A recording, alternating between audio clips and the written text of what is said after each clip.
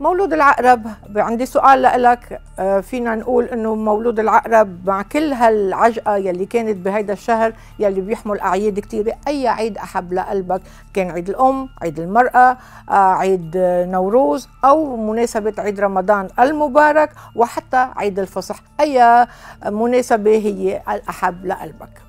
أما مهنيا منتابع عندك أسبوع مهم بيحمل صحة جيدة أعصاب متينة بتتميز عن الآخرين بإشراق وحيوية مضاعفة وبتكون المعنويات مرتفعة جدا تحت تأثير الطوالع الفلكية المناسبة من برج الحوت الزهرة المريخ زحل ونبتون بالإضافة للأجواء العامة الجيدة. عنا الشمس وعطارد ببرج الحمل الصديق بيعطوك تسهيلات ودعم لكل أمورك.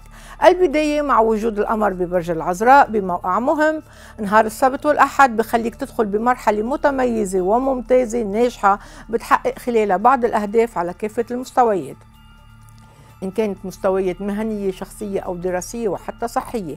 معنوياتك مرتفعة وتفاؤلك كبير بتخليك تعالج المسائل العالقة والمشاكل يلي كانت تعبتك.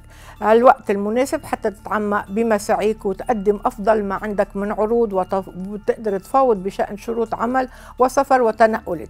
لكن بالرغم من كل هالأجواء الحلوة والإيجابيات والأرباح عليك أنك تخفف النمط شوي تحمي حالك من الأخطار والتقلبات المفاجئة يوم يومي الاثنين والثلاثة تحت تأثير الخسوف الظلي للقمر المكتمل من برج الميزان يعني من بيت الصحة والشغل. آه، بتلاقي حالك ملبك مشغول ببعض المستندات والتشكيلات والترتيبات الإدارية المزعجة. مشان هيك ما تقدم على أي تحديات أو تصرفات عشوائية متهورة ومتسرعة وانتبه لصحتك وسلامتك. المعنوية والصحية. بيتبدل المشهد الفلكي بتتحسن أحوالك مع وصول القمر لبرجك بين الأربعاء والجمعة. ثلاثة أيام بيوعدوك بحظ كبير آه، بأجواء مشرقة بسفر بتلحق أهدافك آه، بتستقطب الفرص المالية بحالفك القدر حتى تكسب بعض التقدير والمكافآت. يعني عزيزي العقرب حان الوقت حتى تعالج الأمور العلقة بحكمة وروية.